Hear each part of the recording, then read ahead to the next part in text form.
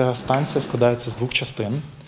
е, Такої палички е, та нашого умовного носика. Ці частини були роздруковані на 3D-принтері, що в принципі нам допомагає робити легку та міцну конструкцію, навіть витримує дуже важких пташок.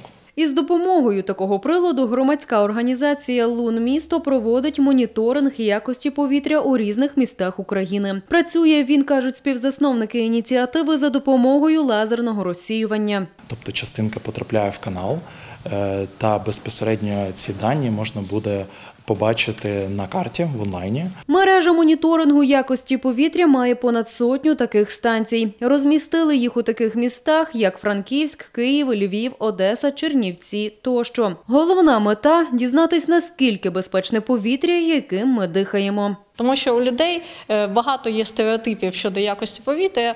Хтось каже, ой, у нас таке брудне повітря, я от кожного ранку встаю і воно брудне. А хтось каже, ні, у нас саме чисте повітря. От ми хочемо е, дати актуальну відповідь щодо того, чи е, брудне повітря, чи чисте. Зараз ми бачимо, що воно чисте. Побачити результати досліджень та дізнатися якість повітря у місті, каже Анна, має змогу кожен охочий. Це карта, на яку транслюються у реальному часі показники якості повітря, а саме концентрації дрібнодисперсного пилу PM1, е, PM2,5, PM10. Кожна оця точка на карті це одна станція. Вони розставлені рівномірно по місту. Ви можете е, спостерігати, і ви, і всі охочі можуть спостерігати в режимі реального часу, як змінюються дані. Інформацію про стан повітря у Франківську подають 9 станцій, розміщених у різних частинах громади. Запустили цей моніторинг у серпні минулого року.